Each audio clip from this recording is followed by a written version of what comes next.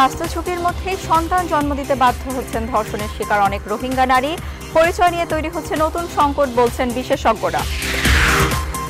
জাতীয় নির্বাচনে তিনশো আসনে প্রার্থী দেবে জাতীয় পার্টি। শেষ সময়ের উপর নির্ভর করছে জোটবদ্ধ নির্বাচনের সিদ্ধান্ত। সাইবার হয়রানির শিকার অনেকেই মামলা করতে চান না ভোগান্তির আশঙ্কায় স্কুল পর্যায় থেকে সচেতনতা শুরুর তাগিদ। বদলে যাচ্ছে কৃষি উৎপাদন বাজার ও মুনাফা তিন স্তরেই সম্ভাবনাময় হয়ে উঠছে বিদেশি ফল, বাড়ছে বাগানের সংখ্যাও। এবং এবারও ঈদুল আজহা ছুটিতে কক্সবাজারে পর্যটকের ঢল নামার প্রত্যাশা, বৃষ্টি কাটতে নানা উদ্যোগ হোটেল মালিকদের।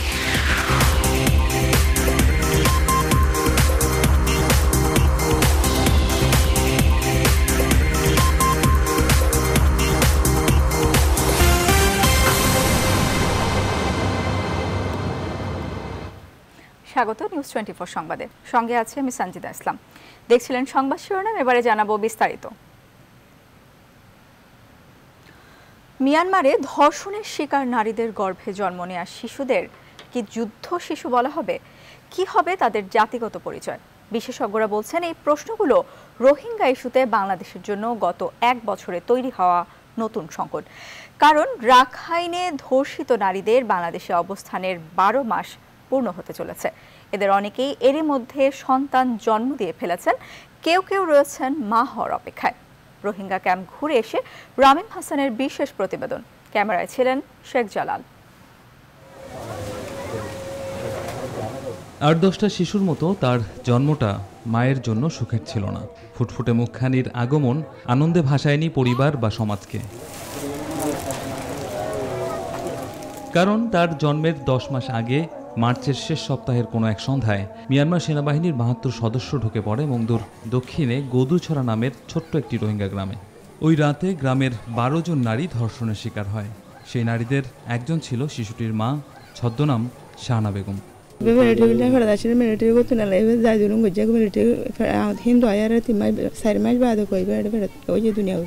বাপরে ধরে নে গিয়ে বাপে মিলিটারি যাই জন্য বাপে কি হইব কিছু না হোক শাহানার আরও তিনটি সন্তান রয়েছে, কিন্তু সমস্ত দুশ্চিন্তা এই সন্তানের ভবিষ্যৎ নিয়েই। তাই স্বভাবতই মনে প্রশ্ন আসে, সবকিছু বুঝেও সে সময় কেন গর্ভপাতের সিদ্ধান্তে যায়নি পরিবারটি? তবে সেই প্রশ্নের কিছুটা উত্তর মিলল গদুছড়া গ্রামের সর্দার এবং বর্তমানে ময়নারঘোনা রোহিঙ্গা ক্যাম্পের একটি ব্লকের মাঝি ওসমান গনির সঙ্গে কথা বলে। তারা চিনে যে, তারা তো মানে বেড়াই নাই হাজবেন্ড নাই। তো তারা যেন মানে কি করলে যাদের তহল করে লাই তো সেই হিসাবত আছে এখন তাতে কি কি করে যাদের পিছনে তেতে তারা আদরি নির্যাতনের শিকার রোহিঙ্গা নারীদের নিয়ে কাজ করা এনজিওগুলোর সঙ্গে কথা বলে জানা যায় বাংলাদেশে এসেও বেশিরভাগ ধর্ষিতা নারী চিকিৎসা নিতে চান না।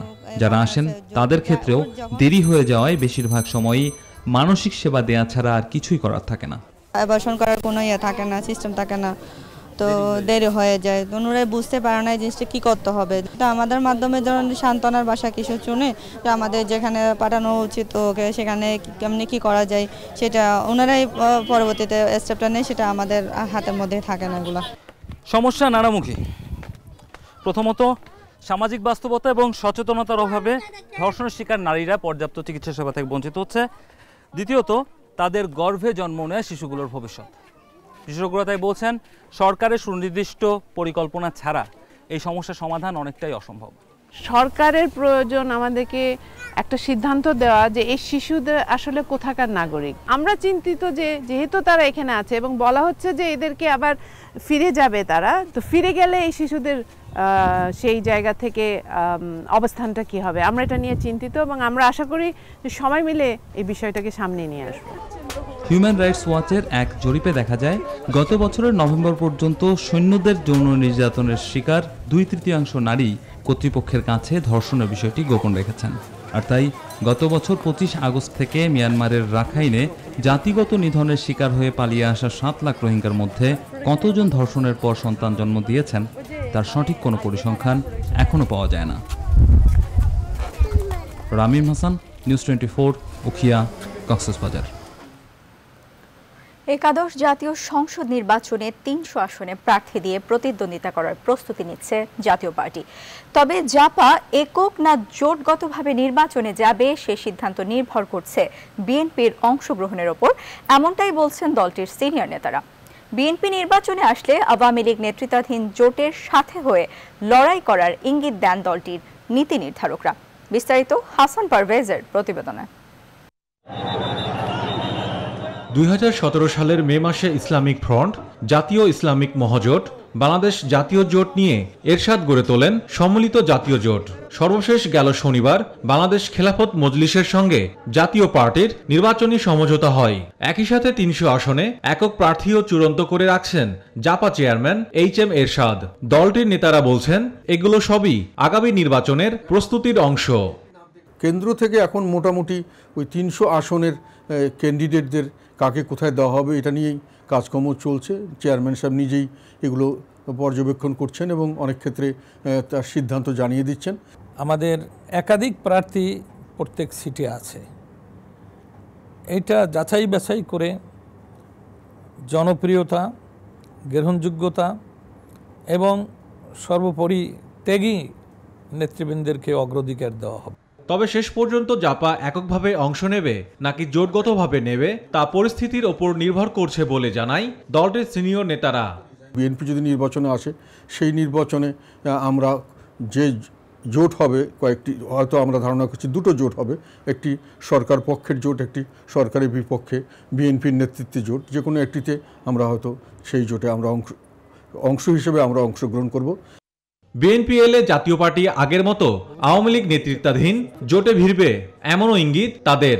আমরা তো আওয়ামী লীগের সাথে ইতিমধ্যে একাধিকবার সম্পৃক্ত হয়ে নির্বাচন করেছি। আমাদের তিনজন মন্ত্রী এখনও সরকারের সাথে আছে, এটা আমরা অস্বীকার করব না। পথ চলতে আগামী নির্বাচনে কোনটা ভালো হবে, সেটা অগ্রাধিকার দেওয়া সেপ্টেম্বরের শেষের দিকে ঢাকায় একটি মহাসমাবেশ আয়োজন করার কথা জানান দলটির মহাসচিব। Hasan Parvez, news twenty Dhaka. ডিএমপির cyber crime বিভাগের তথ্য অনুযায়ী গত পাঁচ বছরে সাইবার অপরাধে মামলা হয়েছে চোদ্দশোর বেশি। এর মধ্যে দুশো পঞ্চাশটিরও বেশি মামলার তদন্ত চলছে, তবে এখনও সাইবার হয়রানির শিকার হলে ভোগান্তির আশঙ্কায় মামলা করতে চান না সাধারণ মানুষ। তথ্য প্রযুক্তি প্রতিমন্ত্রী বলছেন সাইবার সচেতনতা শুরু করতে হবে স্কুল পর্যায় থেকেই। আলী আকবর নামের এই ব্যক্তি পেশায় একজন রেজিস্টার্ড কাজী। দীর্ঘদিন ধরে তিনি সাইবার হয়রানির শিকার বলে অভিযোগ করছেন। আমার নাম ব্যবহার করে উত্তরা কার্যবেশ ব্যবহার করে ওয়েবসাইট গুগল সব জায়গায় জায়গায় সে তার নাম উত্তরা কার্যবেশ ব্যবহার করে সেটা মোবাইল নাম্বারটা তার। তো যার কারণে আমি আর্থিক ক্ষতি হইতেছি সামাজিকভাবে প্রতিপন্ন হইতেছে এবং সামা মানুষ প্রতারণা হইতেছে। তাকে তিনি গিয়েছিলেন পুলিশের কাছেও তবে সেখানে হয়েছে ভিন্ন অভিজ্ঞতা। আমি উত্তরা পশ্চিম থানাও দরখাস্ত করছি ডিডি করছি একটা উত্তরা পূর্ব থানাও করছি। তারা তদন্ত করতেছে হইতেছে হচ্ছে এরকম বলতেছে। এমন আলী আকবরের মতো মানুষের সংখ্যা কত সে বিষয়ে কোনো পরিসংখ্যান না থাকলেও পুলিশের সাইবার ক্রাইম বিভাগের তথ্য বলছে গত পাঁচ বছরে তথ্য প্রযুক্তি আইনে মামলা হয়েছে চোদ্দশোর বেশি, যার মধ্যে দুশো পঞ্চাশটির বেশি মামলায় তদন্ত চলছে। দু হাজার বারো সালে মামলা হয় উনিশটি দু হাজার তেরো সালে হয় আটচল্লিশটি দু হাজার চোদ্দ সালে একশো উনপঞ্চাশটি দু সালে তিনশো তিনটি দু হাজার ষোলো সালে পাঁচশো ছিচল্লিশটি ও দু হাজার সতেরো সালে মামলা হয় তিনশো বান্নটি। পুলিশ বলছে, মামলাগুলো গুরুত্বের সঙ্গে দেখা হচ্ছে। ঢাকা মেট্রোপলিটন পুলিশে কিন্তু একটি সাইবার ক্রাইম ইউনিট রয়েছে। এই সাইবার ক্রাইম ইউনিট কিন্তু এই সোশ্যাল মিডিয়াতে যত ধরনের অপরাধ সংগঠিত হয় অথবা বিভিন্ন ফিনান্সিয়াল ট্রানজ্যাকশনের ক্ষেত্রেও যদি কোনো অপরাধ সংগঠিত হয়, তাহলে কিন্তু আমরা যদি অভিযোগ পাই, অভিযোগ পাওয়ার ক্ষেত্রে আমরা কিন্তু ব্যবস্থা গ্রহণ করে থাকি। তথ্য প্রযুক্তি প্রতিমন্ত্রী জুনাদ আহমেদ পলক জানান, সাইবার সচেতনতা তৈরিতে স্কুল পর্যায় থেকেই ব্যবস্থা নেওয়ার কথা ভাবছে তথ্য প্রযুক্তি বিভাগ। একটা ব্যক্তিকে ক্ষতিগ্রস্ত করার জন্য, একটা প্রতিষ্ঠান, আরেকটা প্রতিষ্ঠানকে আক্রমণ করার জন্য, কিংবা একটা রাষ্ট্র, আরেকটা রাষ্ট্রকে আক্রমণ করার জন্য কিন্তু সাইবার জগৎটাকে তারা বেছে নিচ্ছে। তো আমরা সেই জন্যই আমরা চাচ্ছি যে আমাদের দেশের প্রত্যেকটি নাগরিককে, প্রত্যেকটি ব্যক্তিকে আমরা সাইবার জগৎ সম্পর্কে সচেতন করতে চাই। তথ্য প্রযুক্তির উন্নতির সঙ্গে সঙ্গে সাইবার সচেতনতা বৃদ্ধির ওপর জোর দেওয়ার পরামর্শ দিচ্ছেন সংশ্লিষ্টরা। Rishad Hasan, news twenty Dhaka. সিলেটে ছাত্রদল নেতা রাজু খুনের ঘটনায় মামলায় আসামি করা হয়েছে। নবগঠিত কমিটির সাধারণ সম্পাদক সহ প্রথম সারির বেশ কয়েকজন নেতাকে। মামলা করা হলেও প্রধান আসামিরা রয়ে গেছে ধরাছোঁয়ার বাইরে। দলের মধ্যে শৃঙ্খলা ফেরাতে খুনোখুনিতে জড়িত ছাত্রদল নেতাকর্মীদের বিরুদ্ধে সাংগঠনিক ব্যবস্থা নেয়ার কথা বলছেন সিলেট বিএনপির নেতারা। শাহ দিদার আলম নোবেলের তথ্য, ছবিতে ডেস্ক রিপোর্ট। সিলেটে ছাত্রদল নেতা রাজু হত্যার দুদিন পর সোমবার রাতে তেইশ জনের নাম উল্লেখ সহ অজ্ঞাত আরও দশ পনেরো জনকে আসামি করে সিলেট কোতোয়ালি থানায় মামলা দায়ের করেন নিহত রাজুর চাচা দবির উদ্দিন। মামলায় অভিযুক্তদের বেশিরভাগই ছাত্রদলের সক্রিয় নেতাকর্মী। তবে অপরাধী যেই হোক তাদেরকে দ্রুত গ্রেপ্তারের দাবি মামলার বাদীর। প্রকৃত আসামিরা কোনো অবস্থায় যাতে আপনাদের লেখনের ফার ফেয়ে না যায় এবং দ্রুত যেন আইন আইন সংস্থা এদেরকে পাকড়াও করে আর যাতে কোনো নিরপরাধ ব্যক্তি এই দরবাকরের শিকার না হয়। এদিকে সিলেটে মেয়র পদে বিএনপির বিজয়ের দিনে এমন হত্যাকাণ্ডে বিক্ষুব্ধ নবনির্বাচিত মেয়র ও স্থানীয় বিএনপির নেতারাও। সন্ত্রাসী যেই হোক এই ধরনের ঘৃণ্যতম জঘন্যতম ঘটনার সঙ্গে যে জড়িত থাকুক, তাকে দৃষ্টান্তমূলক শাস্তির আওতায় এবং আমি সঙ্গে সঙ্গে এদেরকে আইনের আওতায় আনার জন্য সংশ্লিষ্ট সকলকে অনুরোধ করছি। যে বিষয়টি ছাত্রদল সংশ্লিষ্ট বিষয় নিয়েই হত্যাকাণ্ডটি ঘটেছে। হতে পারে এখানে উৎপেতে থাকা কোনো ষড়যন্ত্রকারী আছে। তো সেখান থেকে উত্তরণ ঘটাতে হলে অবিলম্বে ছাত্রদলকে তার ভূমিকা রাখতে হবে। হত্যাকাণ্ডের চার দিন পার হলেও এখন পর্যন্ত মাত্র একজন আসামিকে গ্রেপ্তার করতে পেরেছে পুলিশ। এ পর্যন্ত এজাহার নামীয় চোদ্দ নম্বর আসামি অ্যারেস্ট আছে। আর বাকি অন্যান্য আসামিদেরকে অ্যারেস্ট করার জন্য পুলিশ চেষ্টা করে যাচ্ছে। তদন্ত করে দেখতেছে যদি পায় তাহলে সেক্ষেত্রে সিসিটিভি ফুটেজ নিয়ে কাজ করবে। গেল শনিবার সিলেট সিটি কর্পোরেশনের দ্বিতীয়বারের মতো নির্বাচিত মেয়র আরিফুল হক চৌধুরীর বিজয় উৎসব চলাকালে তার বাসার পাশেই মহানগর ছাত্রদলের সাবেক উপপ্রচার সম্পাদক রাজুকে কুপিয়ে হত্যা করে ছাত্রদলের সন্ত্রাসীরা। বদলে যাচ্ছে দেশের কৃষি। উৎপাদন, বাজারজাত আর মুনাফা এই তিন স্তরে সম্ভাবনাময় হয়ে উঠছে বিদেশি ফলের চাষ। ফলে দেশের বিভিন্ন এলাকায় উঁচু জমিতে বাড়ছে বাগানের সংখ্যা। এ অবস্থায় দেশে উৎপাদিত বিদেশি ফলের উজ্জ্বল ভবিষ্যৎ দেখছেন গবেষকরাও। রাজশাহী থেকে আরও জানাচ্ছেন কাজী সাহেদ বরেন্দ্রর খটখটে শুকনো মাটি, তাতেও সবুজের সতেজতা ছড়াচ্ছে মাল্টার বারন্ত গাছগুলো। গোদাগাড়ি উপজেলার মাটিকাটা এলাকায় পাঁচ বিঘা জমিতে মাল্টার বাগান করেছেন শেতাবুর রহমান। গাছের বয়স এক বছর না যেতেই ফলের ভাড়ে নুয়ে পড়েছে এর ডালপালা। সেচ লাগে না খুব বেশি, নিতে হয় না তেমন বাড়তি যত্ন। ফলে রাজশাহীর বরেন্দ্র ভূমিতে সম্ভাবনাময় হয়ে উঠছে মাল্টা, কমলা, বেদানার চাষ। কৃষি বিভাগও এগিয়ে এসেছে চাষিদের সহযোগিতায়। এই মাটি অন্যান্য এলাকার চেয়ে একটু উঁচু।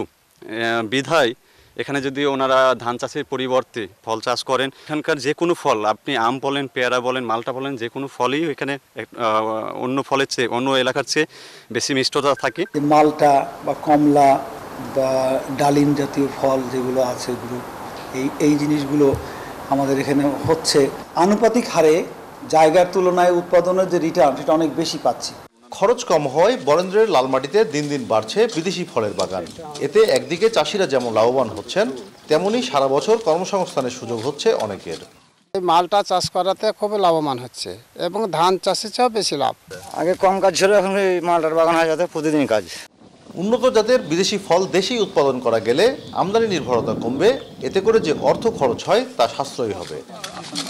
আমরা দেশেই সেই জিনিসটা সাপ্লিমেন্ট করতে পারলে আমার মনে হয় যে বিদেশি খরচ যেগুলো আমাদের আমদানির জন্য বা আমাদের ওই যে ট্যাক্স দিয়ে আনতে হবে চড়া দামে কিনে আনতে হয় সেটা অনেকখানি মিটা বরেন্দ্রের লালমাটিতে ফলছে সুস্বাদু মালটা। শুধু ধান চাষ নয় ফল চাষেও এই অঞ্চলে ঘটছে বিপ্লব। Kazi Shahed news twenty four Rajshahi. প্রতি বছরই কক্সবাজারে আসে লাখ লাখ পর্যটক। এবারও ঈদুল আজহার ছুটিতে পর্যটকের ঢল নামবে কক্সবাজারে, এমনটা আশা করছেন সংশ্লিষ্টরা। অন্যদিকে বেড়াতে আসা পর্যটকদের নিরাপত্তা দিতে নানা উদ্যোগ নিচ্ছে প্রশাসন। ইসমত আরা ইস্যুর তথ্য, চিত্রে ডেস্ক রিপোর্ট। ভ্রমণের জন্য প্রথমেই উঠে আসে সৈকত নগরী কক্সবাজারের নাম। সাগর আর পাহাড়ের মিতালির সাথে আছে পাহাড়ি ঝর্ণা। আছে মহেশখালী, সেন্ট মার্টিন, ইনানি এবং বিশ্বের দীর্ঘতম মেরিন ড্রাইভ সড়ক। এসব দেখতে কক্সবাজারে প্রতি বছরই ভিড় জমে লাখো পর্যটকদের। বেড়াতে আসা সেসব পর্যটকদের জন্য হোটেলগুলোতে থাকে বিশেষ ব্যবস্থা। অনেক কিছু ফ্যাসিলিটিস দিয়ে আমরা ঈদের প্যাকেজগুলো, হোটেলগুলো আমরা ডিজাইন করে থাকি। এর পাশাপাশি বিনোদনের ব্যবস্থা রাখি, যেমন আপনি সুইমিং পুলের কথাই বলতে পারেন। বিচের পাশে, পাশাপাশি আমরা দেখি যে অনেক ট্যুরিস্ট আমাদের সুইমিং পুল এনজয় করে। তারপরে সাউনা আছে স্ট্রিম বাদ আছে। সব শ্রেণির পর্যটকদের চাহিদা পূরণে কাজ করছে পর্যটন উদ্যোক্তারা। তাই এবারই প্রথম পর্যটকদের জন্য মেরিন ড্রাইভে ফান বাসে বেড়ানোর আয়োজন করেছেন তারা। পর্যটকদের জন্য আমরা কিছু ভিন্নমাত্রিক স্পোর্টসের ব্যবস্থা করেছি এবারে অন্যবার এটা ছিল না। ঈদের মধ্যে দিয়ে কক্সবাজার আরেকটা নতুন সার্ভিস চালু হচ্ছে। কক্সবাজার থেকে মেরিন ড্রাইভ হয়ে যে টেকনাফ যাওয়া আসার মধ্যে একটা ফান বাস একটা চালু হচ্ছে। তো সুতরাং এবার পর্যটকরা এসে কক্সবাজারে ভিন্নমাত্রিক একটা বিনোদন পাবে। অন্যদিকে পর্যটকদের জন্য নিরাপত্তার নানা উদ্যোগ গ্রহণ করেছে প্রশাসন। যে সমস্ত জায়গায় বেশি পর্যটকের সমাগম হয়। ও সমস্ত ওই সমস্ত জায়গাগুলোতে আমরা বিশেষ করে গোয়েন্দা নজরদারি নিয়ে আসব। এবং আমাদের যে পোশাকধারী পুলিশ পুলিশ তারাও তৎপর থাকবে। এবং অন্যান্য যে গোয়েন্দা সংস্থাগুলো আছে তারাও তৎপর থাকবে। অন্য অন্য আইনশৃঙ্খলা বাহিনী যারা আছে তারাও তৎপর থাকবে। কক্সবাজারে পর্যটকদের নিরাপত্তায় এবারও কাজ করবে প্রায় হাজার খানেক আইনশৃঙ্খলা রক্ষাকারী বাহিনী। সংবাদের এই পর্যায়ে নিচ্ছি বিরতি। ফিরছে আরও খবর নিয়ে সাথে থাকুন।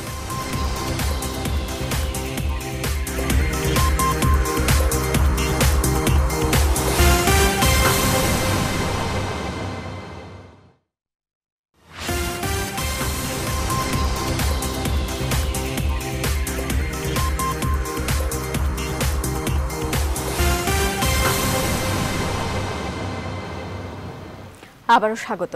দেখছে নিউজ টোয়েন্টি সংবাদ। দেশব্যাপী মাদক বিরোধী সারাশি অভিযানের মধ্যেও আইন শৃঙ্খলা রক্ষাকারী বাহিনীর চোখকে ফাঁকি দিয়ে প্রতিদিনই চট্টগ্রামে প্রবেশ করছে ইয়াবার ছোট বড় চালান। এক্ষেত্রে গ্রেফতার এড়াতে প্রতিনিয়ত কৌশল বদলাচ্ছে মাদক পাচারকারীরা। প্রশাসন কিছু ইয়াবা পাচারকারীদের আটক করলেও এখনও ধরাছোঁয়ার বাইরে রয়েছে ইয়াবা ডনরা। নয়ন বড়ুয়া জয়ের তথ্য চিত্রে ডেস্ক রিপোর্ট। মাদকদ্রব্য নিয়ন্ত্রণ অধিদপ্তর এবং পুলিশ র্যাবের অভিযান ও সড়কে তল্লাশি বাড়ানোর পরও এখনও থেমে নেই ইয়াবা পাচার। নারিকেলের পাশাপাশি আখের মধ্যে এমনকি পেঁয়াজের ভেতরে বিভিন্ন কৌশলে পাচার করা হয় ইয়াবা। কক্সবাজার এবং টেকনাফ থেকে ইয়াবা দেশের বিভিন্ন স্থানে নিতে নিরাপদ রুট হিসেবে ব্যবহার করছে কক্সেস বাজারের চট্টগ্রাম মহাসড়ক। এসব ইয়াবা পাচারের বিভিন্ন কৌশলের কথা জানালেন পাচারকারী ও চালক। বেল্টে প্যাকেট করে দিয়েছিল আর প্যাকেটগুলো আমাকে প্যাকেট করে দিয়েছিল। বেল্টটা যেভাবে আমাকে প্যান্টে লাগাতে বলছিল সেভাবে লাগাইছিলাম। আর পোতলাগুলো যেভাবে আমাকে গিলতে বলছিল সেভাবে গিলেছিলাম। আমি গাড়ি চালাতে আপনি মাল দিয়েছি আর মালটা সাইড বক্সে নিয়েছে এটা তো ড্রাইভার চালকের কিছু সম্পৃক্ততা নেই। ইয়াবা পাচার রোধে সহায়তাকারীদের বিরুদ্ধে ব্যবস্থা নেওয়ার কথা জানান পুলিশ পরিদর্শক। বিশ্বাস করা সম্ভব নয় যে এই লোক ইয়াবা পাচার এরকম ভদ্রলোক আছে। তাদেরকে আমরা ধরছি ধরে মামলা দিছি এবং বাসও আটক আছে এসি বাস আছে নন এসি বাস আছে ড্রাইভার তাদের বিরুদ্ধে আমরা মামলা দিচ্ছি ইয়াবা পাচার ও বিক্রিতে প্রশাসনের লোক জড়িত থাকলে অভিযান প্রশ্নবিদ্ধ হবে বলে মনে করছেন সমাজ বিশ্লেষকরা। আমরা যে তালিকার স্বরাষ্ট্র মন্ত্রণালয়ে যে তালিকার কথা শুনেছি সেখানে ঊর্ধ্বতন অনেক পুলিশ কর্মকর্তার সরাসরি ছবি দেখানো হয়েছে। এরকম একটি অবস্থা যদি চলে তাহলে মাদক নিরাময়ের নামে আসলে জনগণের সাথে নাগরিকদের সাথে দেশের সাথে এটা তামাশা করা হচ্ছে। অন্যদিকে ইয়াবা বন্ধে ডনদের খোঁজে মরিয়া এখন প্রশাসন। তাই নিয়মিত অভিযান অব্যাহত রয়েছে বলে জানান স্বরাষ্ট্র মন্ত্রণালয় সুরক্ষা বিভাগের অতিরিক্ত সচিব। গডফাদার সহই তালিকাটা কমপ্লিট তালিকা করা হয়েছে। সবাই একসাথে ধরা পড়বে এটাও যেমন ঠিক না। কেউ পালিয়ে যায় কেউ দেশের বাইরে চলে যায় এইভাবে আসলে তাদের ধরার প্রচেষ্টা অব্যাহত আছে। শুধু অভিযান ও তল্লাশির মধ্যে সীমাবদ্ধ না রেখে ইয়াবা বন্ধে প্রশাসনের আরও বেশি কৌশলী হওয়ার আহ্বান নাগরিক সমাজের। কোরবানির ঈদকে সামনে রেখে ব্যস্ত সময় পার করছেন চুয়াডাঙ্গা ও নাটোরের কামাররা। কয়লার দাম বেশি হয় অন্যবারের চেয়ে এবারে দা বটি ছুরি ও চাপাতির দাম কিছুটা বেশি বলে জানায় কামাররা। তবে এখনও পুরোপুরি বিক্রি শুরু না হলেও চলছে দা বটি চাপাতি তৈরির কাজ। প্রতিনিধিদের পাঠানো তথ্য চিত্রে ডেস্ক রিপোর্ট। কোরবানির ঈদের বাকি আর মাত্র কদিন। এজন্য দা বটি চাপাতি ছুরি তৈরিতে এখন ব্যস্ততা বাড়ছে চুয়াডাঙ্গার কামার পল্লীগুলোতে। তবে বছরের অন্য সময় কাজের চাপ কম থাকে কামারদের। নতুন কাজের চাহিদাটাই বেশি। আগেও কাজ করেছি আর এখন অতিরিক্ত ভিড় চলছে। বর্তমান কয়লার দাম বেশি কয়লা আগে কিনতাম চল্লিশ টাকা এখন কিনছে ষাট টাকা সত্তর টাকা। বিক্রেতারা বলছেন বিক্রি এখনও পুরোপুরি শুরু হয়নি তবে দু একদিনের মধ্যেই শুরু হবে। গতবারের থেকে এবারটা একটু বেশি। কুরবানির উপলক্ষে এই দাসা পুরি বটি অনেক তৈরি করে রেখেছি সেই পরিমাণে বেচে কিনা হচ্ছে না। আগামীতে হয়তো বেচে কিনা হবে আমরা আশায় আছি। এদিকে ঈদকে সামনে রেখে ব্যস্ত সময় পার করছেন নাটোরের কামাররাও এবার লোহা ও কয়লার দাম বাড়ায় পণ্য সামগ্রীর দাম কিছুটা বাড়তি বলেও জানানো হয়। যে যন্ত্রপাতি তৈরি করতেছি। কিন্তু যে পণ্য দিয়ে মানে যে দ্রব্য দিয়ে আমরা জিনিসপত্র তৈরি করব সেগুলোর খুবই দাম বেশি। যেমন কয়লার দাম খুবই চড়া এবার ব্যবসা অতটা ভালো না। ব্যবসা মানে কেনা খুবই কম। সারা বছরের তুলনায় কুরবানি ঈদের সময় বেচাকেনা বাড়ে কয়েক গুণ। আগে থেকেই কামারপাড়ায় ভিড় করছেন ক্রেতারা। তবে কিনতে আসি কারণ এখানকার কাতানি আসলে প্রচলিত বেশি। আর এখানে কাতানি দিয়ে কাজটাও ভালো হয়। পুরানোর জন্য এসেছি এবং নতুন কিছু বানানোর জন্য মানে আসছি। নাটোর ও চুয়াডাঙ্গা জেলায় এখনও শত শত পরিবার এ পেশায় জড়িত। নির্ধারিত সময়ের মধ্যে যশোরের ভৈরব নদের অবৈধ উচ্ছেদ অভিযান শুরু না হওয়ায় ফেরত গেছে সরকারি বরাদ্দকৃত টাকা। ফলে থমকে গেছে যশোরবাসীর দীর্ঘদিনের স্বপ্ন, ভৈরব নদের দখলমুক্ত ও খনন কাজ। আর এর জন্য প্রশাসনের আন্তরিকতার অভাবকেই দুষলেন স্থানীয়রা। যশোর থেকে রিপন হোসেনের তথ্যচিত্রে ডেস্ক রিপোর্ট। চলতি বছরের জানুয়ারিতে যশোরের ভৈরব নদের অবৈধ দখলদারদের উচ্ছেদ অভিযান শুরু করে জেলা প্রশাসন। স্থাপনা সরিয়ে নিতে দুশো ছিয়ানব্বই ব্যক্তি ও প্রতিষ্ঠানকে নোটিশ দেওয়া হয়। কিন্তু হাইকোর্টের নির্দেশনায় পানি উন্নয়ন বোর্ডের আওতাধীন ষোলোটি স্থাপনার উচ্ছেদ অভিযান স্থগিত হয়ে যায়। বলবৎ থাকে বাকি সত্তরটি স্থাপনার উচ্ছেদ অভিযান কাজ। অভিযোগ রয়েছে, অদৃশ্য কারণে সেগুলোর উচ্ছেদ অভিযানও বন্ধ রয়েছে। কোনো অদৃশ্য শক্তির কারণে বারবার এই অবৈধ উচ্ছেদ বাধাগ্রস্ত হচ্ছে। আর প্রধানমন্ত্রী এই জন্য অর্থ বরাদ্দ দিয়েছিল এবং অর্থ বরাদ্দ চলে যায় কিন্তু দৃশ্যমান কোনো খনন কাজ আজ পর্যন্ত আমরা দেখি নাই। খালে পরিণত করা যাবে না বহবান নদী হিসেবে যশোরবাসী ভৈরব নদীকে দেখতে চাই। উচ্ছেদ অভিযান শুরু না হলে আন্দোলনের হুঁশিয়ারি দিয়েছে ভৈরব সংস্কার আন্দোলন কমিটি। পানি উন্নয়ন বোর্ড এবং জেলা প্রশাসনের ধীর গতির কারণে এবং নানা ধরনের প্রভাব প্রতিপত্তি দিয়ে প্রতিবন্ধকতা সৃষ্টি করার সুযোগ তাদেরকে করে দেওয়া হয়েছে। জেলা প্রশাসক বলছেন সময় স্বল্পতার কারণে নদের দখলদার উচ্ছেদ করতে পারেনি তারা। পুনরায় অর্থ বরাদ্দ পেলে খনন কাজ শুরুর কথা জানিয়েছে পানি উন্নয়ন বোর্ড। সময় স্বল্পতার জন্য আমরা এই কাজটা শেষ করতে পারিনি আমাদের উচ্চ উচ্ছেদ কার্যক্রমটা আমরা শেষ করতে পারিনি। তবে আবার নতুন করে আমরা বরাদ্দের জন্য অনুরোধ জানাচ্ছি। যেহেতু উচ্ছেদের বিষয়টা খুবই গুরুত্বপূর্ণ একটি বিষয় আমাদের পানি উন্নয়ন বোর্ড উচ্ছেদের জন্য আবার নতুন করে সেই টাকাটা বরাদ্দ দেওয়ার জন্য নীতিগতভাবে সম্মতি প্রদান করেছে। অর্থনৈতিক গতি আরও বাড়াতে ভৈরব নদ খননের দাবি যশোরবাসীর। দিনাজপুরের ফুলবাড়ী উপজেলার স্বাস্থ্য কমপ্লেক্স থেকে প্রসূতি মাকে বের করে দেওয়ার ঘটনায় টনক নড়েছে প্রশাসন ও সংশ্লিষ্ট কর্তৃপক্ষের। সিভিল সার্জন জেলা প্রশাসক এবং স্বাস্থ্য অধিদপ্তর গঠন করেছে আলাদা তিনটি তদন্ত কমিটি। এদিকে দোষীদের বিচার দাবিতে মানববন্ধন, প্রতিবাদ ও বিক্ষোভ করেছে স্থানীয় লোকজন। দিনাজপুর থেকে ফখরুল হাসান, পলাশের তথ্য ছবিতে, ডেস্ক রিপোর্ট। হামিদপুর ইউনিয়নের বাঁশপুকুর গ্রামের আবু তাহেরের স্ত্রী প্রসূতি রিনা পারভিনকে বারো আগস্ট ভোরে ভর্তি করা হয় ফুলবাড়ী উপজেলা স্বাস্থ্য কমপ্লেক্সে। কিন্তু প্রসব যন্ত্রণা উঠলে কর্তব্যরত নার্স রোজিনা আক্তার এবং আফরোজা বানু পাশের ক্লিনিকে যেতে বলে। পরিবারের পক্ষ থেকে যেতে না চাইলে তাদের স্বাস্থ্য কমপ্লেক্স থেকে বের করে দেওয়া হয়। পরে কমপ্লেক্স ভবনের সামনে প্রসব ব্যথা বাড়লে গাছের নিচে সন্তান জন্ম দেন রিনা। এ ঘটনায় ক্ষুব্ধ হন স্থানীয় লোকজন। দোষীদের বিচার দাবিতে মানববন্ধন প্রতিবাদ এবং বিক্ষোভ করে তারা। তাকে কিছু মেডিসিন দিবে, সুস্থ করবে, তারপরে না তারা দিনাজপুর পাঠাবে। তাহলে আমাদের স্বাস্থ্য এখানে কি লাভ? ক্লিনিক খুলু করা কিন্তু এরা ওই গুরুত্ব পোকা না সরাসরি কয় এখানে ক্লিনিক আছে ওখানে যান তা ক্লিনিকে যদি আমরা যাব বা ওই এরকম কিছু করব তাহলে আমরা এখানে কি জন্য বসে থাকব? নার্সের সুপারভাইজার বিষয়টি স্বীকার করে জানান সেই সময় দুইজন নার্স রোজিনা এবং আফরোজা কর্তব্যরত ছিল।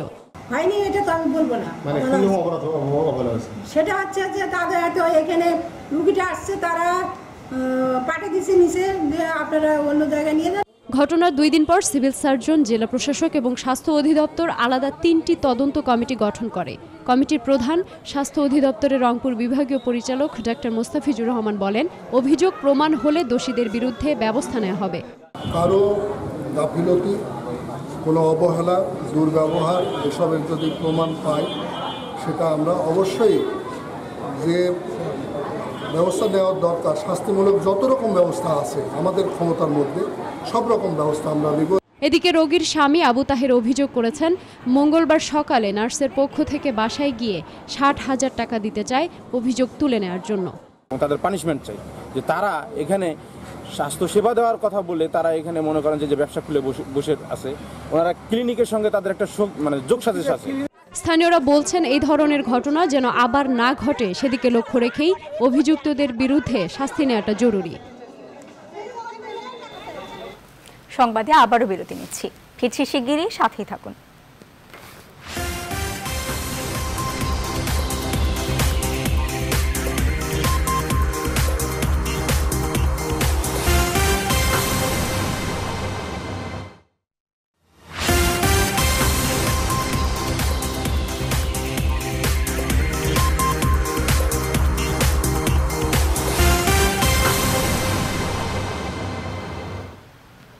আবারও স্বাগত নিউজ টোয়েন্টি ফোর সংবাদে।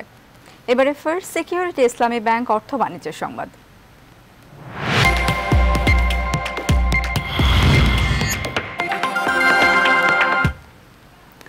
চলতি দু হাজার আঠারো উনিশ অর্থ বছরের প্রথম মাসে রপ্তানিতে সুখবর দিয়েছে রপ্তানি উন্নয়ন ব্যুরো ইপিবি জুলাই মাসে মোট রপ্তানি আয় হয়েছে তিনশো আটান্ন কোটি চোদ্দ লাখ ডলার, যা লক্ষ্যমাত্রার চেয়েও ছয় দশমিক নয় চার শতাংশ বেশি।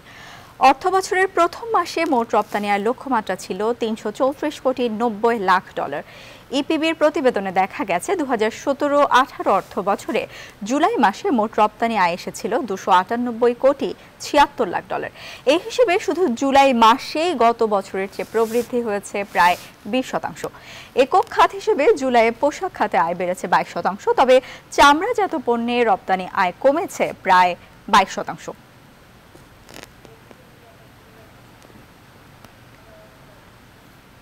এবারে আন্তর্জাতিক প্রসঙ্গ। ভারতের দক্ষিণাঞ্চলীয় রাজ্য কেরালায় ভয়াবহ বন্যায় মৃতের সংখ্যা বেড়ে সাতষট্টি জনে দাঁড়িয়েছে। এর মধ্যে বুধবারই পঁচিশ জনের মৃত্যুর খবর পাওয়া গেছে। বৃষ্টির পরিমাণ ও বন্যার পানি বাড়ায় বন্ধ ঘোষণা করা হয়েছে সেখানকার বিমানবন্দর। এবারের বন্যায় ভারতের দক্ষিণাঞ্চলে অন্তত তিন কোটি ত্রিশ লাখ বন্যা দুর্গত মানুষ ঘরবাড়ি ছেড়ে ত্রাণ শিবিরে আশ্রয় নিতে বাধ্য হয়েছেন।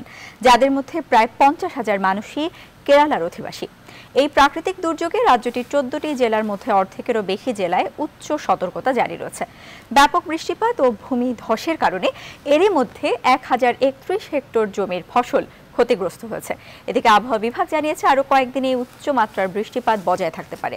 পাশাপাশি সমুদ্র উপকূলের নিচু এলাকাগুলো বন্যায় তলিয়ে যেতে পারে বলেও সতর্ক করা হয়েছে।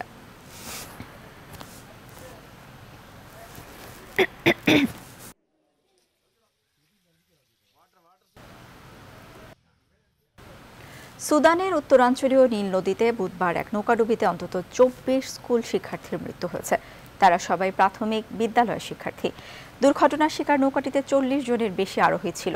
অন্য আরোহীদের খুঁজে বের করতে তল্লাশি অভিযান পরিচালনা করছে কর্তৃপক্ষ। পুলিশ জানিয়েছে, নৌকাটির বেশিরভাগ যাত্রী ছিল স্কুলের শিশুরা। স্কুলে যাওয়ার জন্য ইঞ্জিন চালিত নৌকায় নদী পারাপার হচ্ছিল তারা, তবে যাত্রাপথে তীব্র স্রোতের মধ্যে হঠাৎ করে ইঞ্জিন বন্ধ হয়ে গেলে নৌকাটি ডুবে যায়। এতে হতাহতের ওই ঘটনা ঘটে।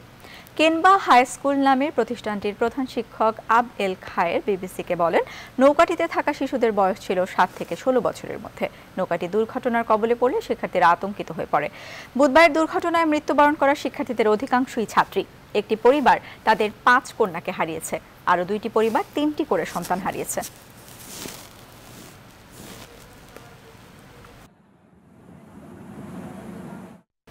সংবাদে নিচ্ছি আরও একটি বিরতি। ফিরছি শিগগিরই সাথে থাকুন।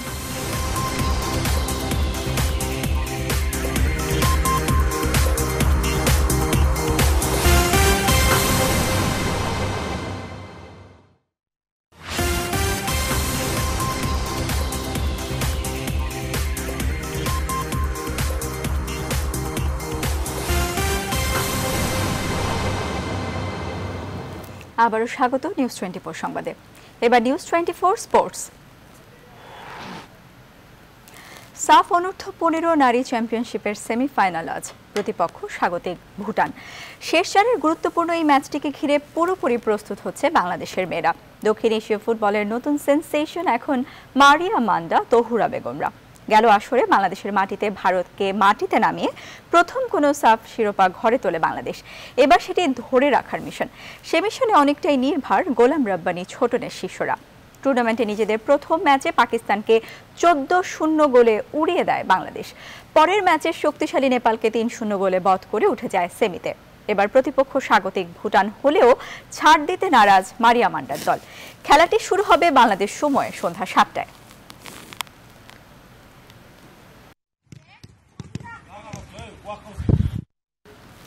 এশিয়ান গেমসে নিজেদের দ্বিতীয় ম্যাচে বাংলাদেশ জাতীয় ফুটবল দল এবার মুখোমুখি হবে শক্তিশালী থাইল্যান্ডের সঙ্গে। পাকানসারি স্টেডিয়ামে দুই দলের ম্যাচ শুরু হবে আজ বিকেল তিনটায়। আসলে প্রথম ম্যাচে উজবেকিস্তানের কাছে তিন শূন্য গোলে হেরে আত্মবিশ্বাসে পিছিয়ে জেমি ডের শিষ্যরা। উদ্বোধনী খেলায় গোটা দলের সামর্থ্যের অভাব ছিল। তাই এখন থাই শক্তির বিপক্ষে ঘুরে দাঁড়ানো বেশ চ্যালেঞ্জিং সবার কাছে। এ পর্যন্ত এগারো লড়াইয়ে দুবার জিতেছে বাংলাদেশ। সবশেষ দু হাজার বারো সালের নভেম্বরে থাইল্যান্ডের কাছে প্রীতি ম্যাচে পাঁচ শূন্য গোলে পরাজিত হয় লাল সবুজরা। বি গ্রুপে বাংলাদেশের শেষ ম্যাচের প্রতিপক্ষ কাতার।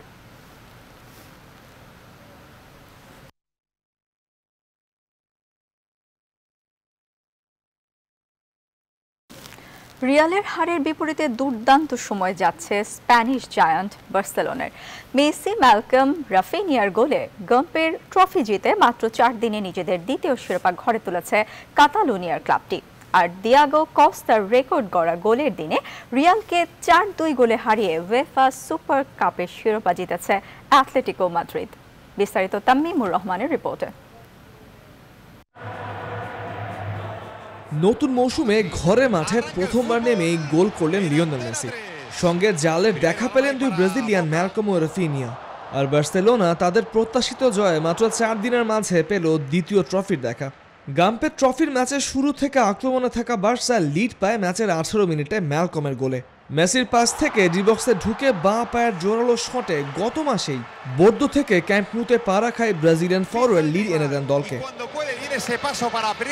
ম্যাচের উনচল্লিশ মিনিটে মেসির নৈপুণ্যের ব্যবধান দ্বিগুণ করে বার্সেলোনা। ডিবক্সে ঢুকে গোলরক্ষকের উপর দিয়ে চিপ শটে জাল জড়ান আর্জেন্টিনা এই ফরওয়ার্ড। বিরতিতে যাবার আগে সুযোগ পেয়েছিল বোকা জুনিয়র্সরা গোলের ব্যবধান কমানো তবে ফিনিশিং এর অভাবে তার হয়ে ওঠেনি। আর সাতষট্টি মিনিটে আরেক ব্রাজিলিয়ান, রাফিনহা পুরো দোস্তর যোগ বনিতর ছন্দে তিন শূন্য গোলের লিড এনে দেন বার্সেলোনাকে। আর বার্সাও এই গোলে নিশ্চিত করা জয়ে। প্রাক মৌসুম প্রস্তুতিতেই গ্রাম্পের ট্রফি জিতে নিজেদের দ্বিতীয় শিরোপা জয়ের আনন্দে ভাসে। রাতের অন্য খেলায় উয়েফা সুপার কাপের ইতিহাসে ম্যাচের পঞ্চাশ সেকেন্ডে দিয়াগো কস্তার করা দ্রুততম গোলের রেকর্ডে আসরে শিরোপা নিয়ে মাঠ ছেড়েছে অ্যাথলেটিকো মাদ্রিদ অবশ্য সেই গোলে পিছিয়ে পড়ে করিম বেনজেমা ও সার্জিও রামোসের গোলে ম্যাচে লিডও নিয়েছিল রিয়াল মাদ্রিদ। তবে স্তোনিয়ার দিয়ে কক অ্যারিনা এদিন ভাগ্যদেবী সহায় ছিলেন না রিয়ালের ওপর। রোনালদোকে ছাড়া প্রথম কোনো প্রতিযোগিতামূলক ম্যাচ খেলতে নেমে সে লিড ধরে রেখে আর ম্যাচ শেষ করতে পারেনি গ্যালাক্টিকোরা। খেলা শেষ হবার এগারো মিনিট আগে ম্যাচের সমতায় ফেরে অ্যাথলেটিকো মাদ্রিদ। কোরেরার ক্রস থেকে ম্যাচে নিজের দ্বিতীয় গোলটি করেন দিয়াগো কস্তা। আর ম্যাচের অতিরিক্ত সময় সোল নিগাজ ও কোকের গোলে চার শূন্য গোলের জয় নিয়ে প্রথম ক্লাব হিসেবে তিনবার আসরে অংশ নিয়ে শতভাগ শিরোপা জয়ের আনন্দে ভাসে Atletico Madrid. Tamimur Rahman news twenty সংবাদ শেষ করার আগে শিরোনামগুলো জানিয়ে দিচ্ছি আরও একবার। স্বাস্থ্য ঝুঁকির মধ্যে সন্তান জন্ম দিতে বাধ্য হচ্ছেন ধর্ষণের শিকার। অনেক রোহিঙ্গা নারী পরিচয় নিয়ে তৈরি হচ্ছে নতুন সংকট বলছেন বিশেষজ্ঞরা। জাতীয় নির্বাচনে তিনশো আসনেই প্রার্থী দেবে জাতীয় পার্টি। শেষ সময়ের উপর নির্ভর করছে জোটবদ্ধ নির্বাচনের সিদ্ধান্ত। সাইবার হয়রানির শিকার অনেকেই মামলা করতে চান না ভোগান্তির আশঙ্কায়। স্কুল পর্যায় থেকে সচেতনতা শুরুর তাগিদ। বদলে যাচ্ছে কৃষি উৎপাদন, বাজার ও মুনাফা। তিন স্তরেই সম্ভাবনাময় হয়ে উঠছে বিদেশি ফল, বাড়ছে বাগানের সংখ্যাও। এবং এবারও ঈদুল আজহা ছুটিতে কক্সবাজারে পর্যটকের ঢল নামার প্রত্যাশা, দৃষ্টি কাটতে নানা উদ্যোগ হোটেল মালিকদের।